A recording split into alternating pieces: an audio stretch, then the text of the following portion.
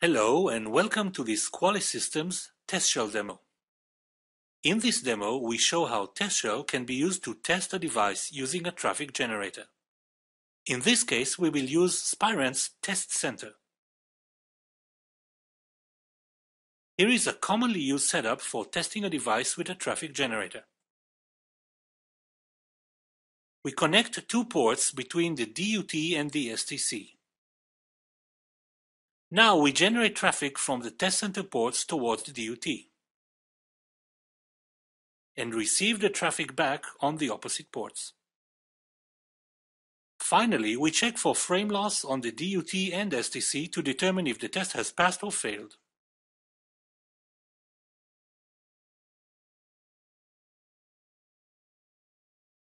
Now let's see how simple test flows looks like. First we connect to the STC and reserve ports. We will then load the test center configuration file.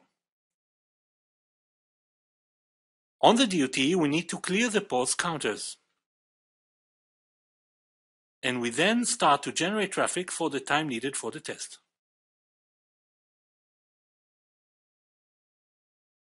Next, we stop the traffic generation from the STC. And we finish by verifying all the statistics from the STC and the DUT.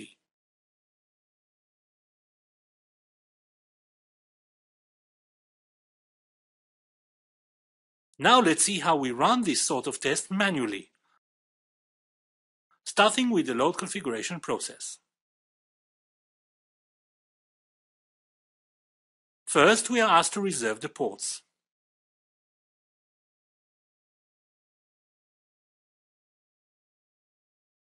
In this setup, we have set one stream per port.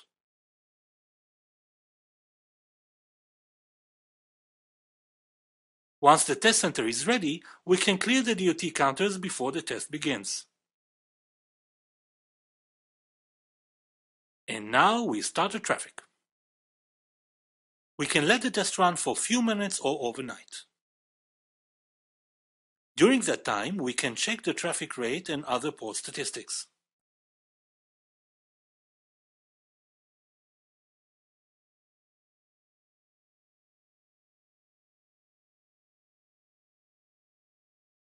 We'll stop the test now and go on to verify the results. Here we can verify that the same number of frames sent from each port reach the opposite port. Now we get the port counters from the DUT.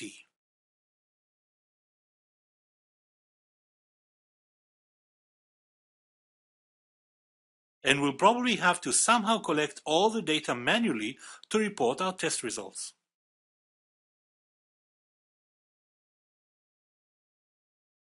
Now let's use TestShell and see how simple it is to automate this same scenario.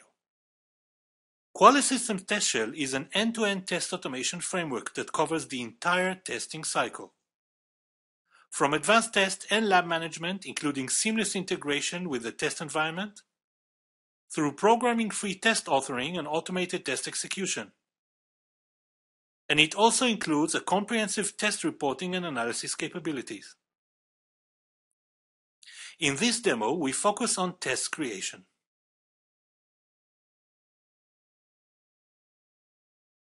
We will use the same test flow with some small additions to make the test more robust and reusable.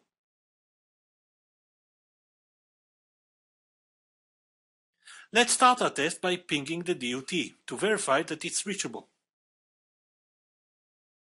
Now, we check the ping results and decide if we can continue with the test. If the DUT is not reachable, then we send the test owner an email and terminate the test. Moving back to our test flow, we begin by loading the configuration file to the STC. We can change this step to use dynamic values taken from variables instead of static values. This lets us to create a robust test that could be reused in different labs or with different resources. It's a very simple process that instantly upgrades our test.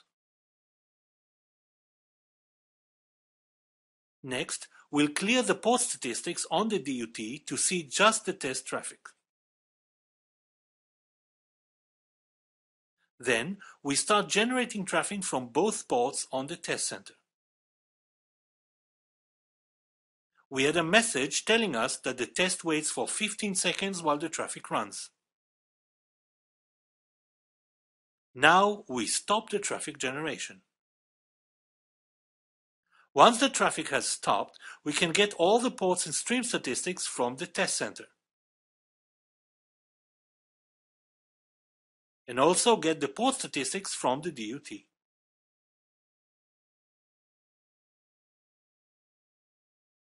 Let's record our telnet session with the DUT while we ask for the port statistics.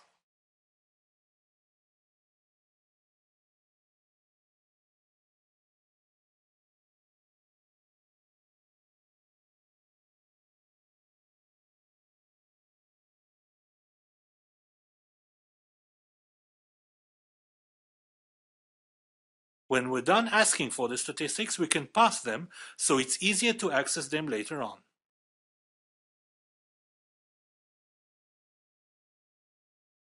We can ensure that parsing is done correctly and that we can view the results in a table.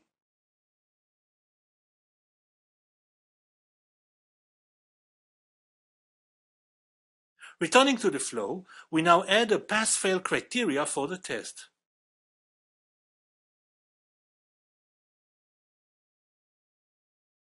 And then we can end the test.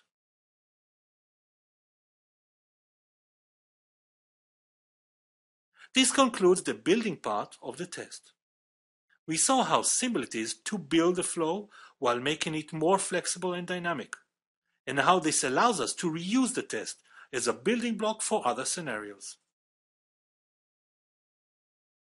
We are going to run the test and see how it looks during runtime.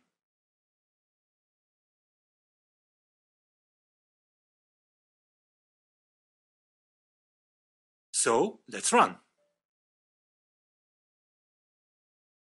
The ping step is complete, and we can see that there is no frame loss, so the test continues. In the following step, TestShell connects to the test center and load the configuration file. Next, TestShell connects to the DUT to clear the port statistics. Then, we start the traffic generation and show our wait message to the user. Usually, the user had to wait until the run is over, but with TestShell, the tests can continue without intervention. Once we've run the traffic for enough time, we can stop it and start collecting the results.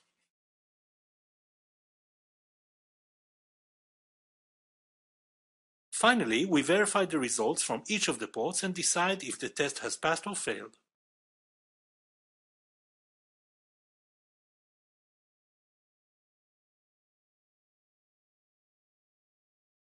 Let's review what we saw in this demo. We saw how easy it is to use the testnet library from TestShell. It's just as easy with any other traffic generator. We saw a telnet session with the DUT. Telnet is just one of the many built-in technologies and protocols that TestShell supports. We saw how easy it is to build a test by dragging and dropping reusable building blocks. We saw the capture and replay capabilities in terminal view, and how to use dynamic values in a test. TestShell allows non-programmers to join the test automation effort, and it makes it easy to reuse or modify tests. We saw TestShell powerful parsing capabilities.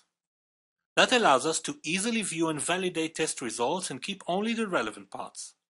We saw how during runtime, all test results are automatically collected to a central server. This allows to easily create customizable reports later on, and to run advanced data analysis on aggregated test results. At the bottom line, it all comes up to a higher product quality. Using TestShell end-to-end framework allows our customers to reach significant business benefits, including shortening time to market, reduce expenditures, and streamline compliance and audit trails.